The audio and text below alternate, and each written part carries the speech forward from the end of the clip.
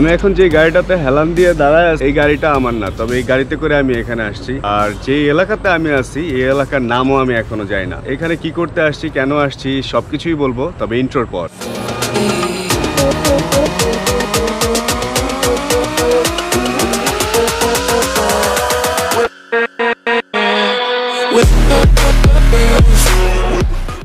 আমরা আসছি বাগানবাড়ি রেস্টুরেন্ট এটা গাজীপুর সাতাইশ রোডে বাগানবাড়ি ইন্টারন্যাশনাল মেডিকেল রোড সাতাইশ টঙ্গি, গাজীপুর মহানগর। তো হুট করেই তানভীর ভাই আমাকে আজকে ধরে নিয়ে আসছে বাসা থেকে। বাসার সামনে এসে ফোন দিচ্ছে, ওনারা তিনজন সিনিয়র ভাই আমার এলাকার। আর বড় ভাইদের সাথে আসলে আমি ফ্রি বাট অতটা না। আমরা আসছি বাগানবাড়ি রেস্টুরেন্টে আর এখানে আসার পর আমি ফুল রেস্টুরেন্টটা ঘুরে দেখছি। ফার্স্ট টাইম ওই ফুটেজগুলো দেখাবো আপনাদেরকে।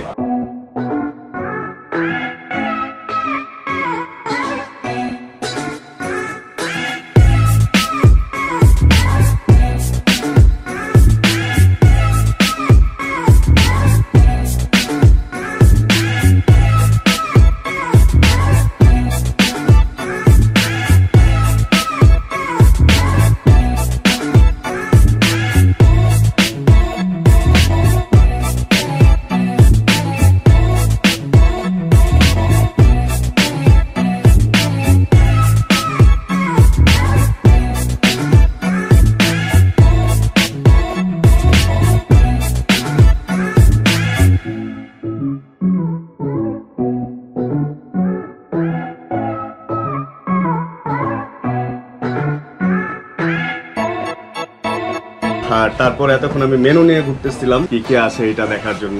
এখানে অনেক রকম খাবার আছে। আর এখানে পার্টির অর্ডার নেওয়া হয়। আপনারা চাইলে পার্টি করার জন্য এখানে আসতে পারবেন। বাংলা খাবারও আছে এখানে।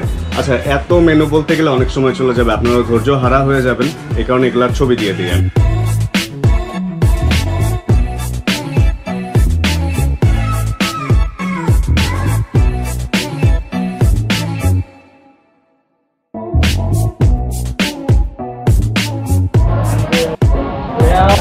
ভাইয়াদেরকে রেখে আমি অনেকক্ষণ যাবত একা একা ঘোরাঘুরি করতেছি, আমি আশপাশে একটু ঘুরেও দেখলাম। তো আমি একটু ভাইয়াদের সাথে যাই আর আপনাদেরকে পরিচয় করাই তাদের সাথে।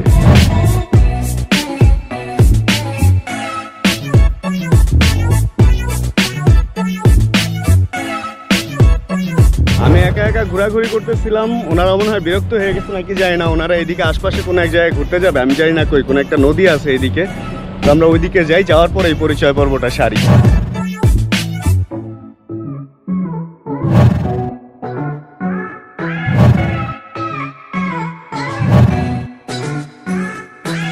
একটু আগে আমি যার গাড়ির সামনে দাঁড়ায় খুব ভাব নিতেছিলাম উনি হচ্ছেন মোস্তফা ভাই। মোস্তফা ভাই নয়ন ভাই আর এখানে তানভীর ভাই। আমরা আসছি ঢাকা থেকে আর এখানে ওনাদের আরও অনেক বন্ধু বান্ধব আছে ওনাদের সাথে পরিচয়টা তানভীর ভাই করা দিবে। রেস্টুরেন্টের মালিক পলাশ পলাশ খান। আর একজন ছোট মালিক। দুজন মালিক ওনারা। শফিকুল খান। রেস্টুরেন্টের কুক সবুজ আচ্ছা ওনার রান্না করা খাবার খাব আমরা।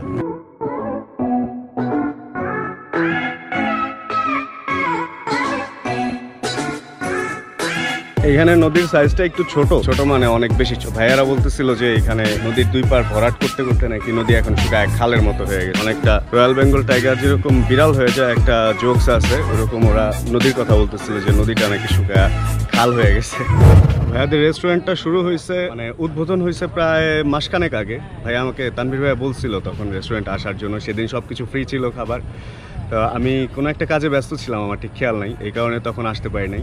আর বাকবাকি ভাইয়াদের সাথে তানভীর ভাইয়ের মনে হয় অনেকদিন পর আজকে দেখা, এই কারণে ওনারা খুব মজা করতেছে। আর আমারও গ্রাম ঘোরার একটা বদ অভ্যাস বা সু অভ্যাস যাই বলেন আছে, আমার গ্রাম খুব ভালো লাগে ঘুরতে। তো আমিও একা একা এদিকে ঘুরতেছি নদীর পাড় দিয়ে, জায়গাটা আমার অনেক ভালো লাগছে। তা আমাদের জন্য যেই ভাইয়া খাবারটা বানাবে আজকে, উনি কোনো একটা ফাইভ স্টার হোটেলে শেফ ছিল এর আগে, ওইখান থেকে উনি এখানে জয়েন করছে, আমি যেটা জানতে পারলাম। সবার সাথে তো পরিচয় হলো। আর এরপর আমরা রেস্টুরেন্ট যাব, তারপরে আমরা টেস্ট করব এখানের খাবার কীরকম। আর যেহেতু এটা এমএসআই ব্লগসের একটা পার্ট এই ভিডিওটা তো খাবার কেমন, আমি রাইট রিভিউটাই দিব। আমি বানায় কিছু বলব না। ভালো হলে বলব ভালো, খারাপ হলে বলব খারাপ। এমন না যে তানভীর ভাইয়ের ফ্রেন্ডের রেস্টুরেন্টে যে আমি সব কিছুই ভালো বলব। তা না।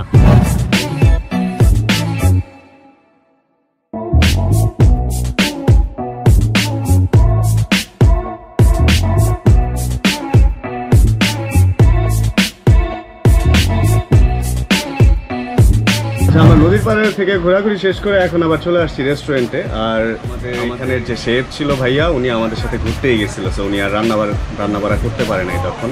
মাত্র উনি আসলো আমাদের সাথে আর আমরা খাবার পরেই ছেড়ে দিচ্ছিলাম যে আমরা কি খাব। কিচেনটা আমি ঘুরে দেখছি। জিনিসটা সবচেয়ে বেশি ভালো লাগছে শেফ যে ভাইয়া আছে ওনাকে আমি বলছি যে কিচেনটার কি ভিডিও নেওয়া যাবে? উনি বলছে হ্যাঁ নিশ্চিন্তে মানে এখানে ভিডিও নিতে প্রবলেম কি? কিচেনের কিছু ভিডিও দেখায় আপনাদেরকে।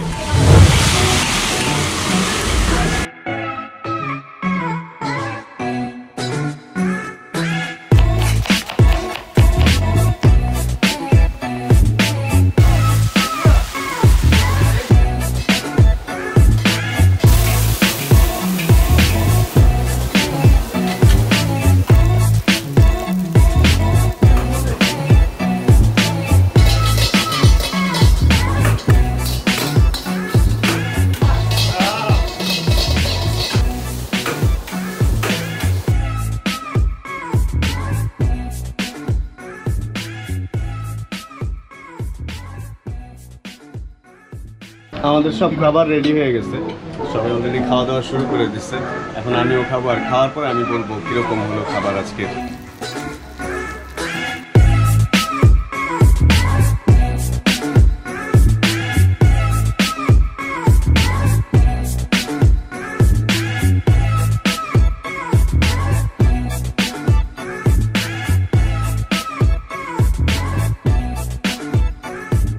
আমাদের খাওয়া দাওয়া সবকিছু অলমোস্ট শেষ। এখন কিছুক্ষণের মধ্যে আমরা বের হয়ে যাব। এখানের খাবারের কোয়ালিটি আসলে অনেক ভালো। এমন না যে পরিচিত লোক বা তানভীর ভাই পরিচিত, এই জন্য বলতেছি আসলে খাবার অনেক ভালো। আজকের ভিডিও তাহলে আমরা এখানেই শেষ করি। নেক্সট আবার অন্য দিন অন্য কোনো ভিডিওতে আবার দেখা হবে।